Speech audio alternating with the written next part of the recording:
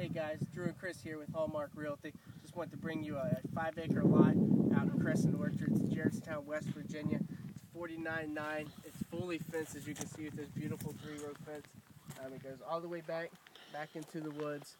That house over there is on the other side and comes down. It's five acres. It's 49.9. Uh, it's priced to sell. Um, you can kind of, if you want to look around the views here a little bit, you can see this is um, this is the real deal out here. These lots are real nice. Guys are interested, give us a buzz.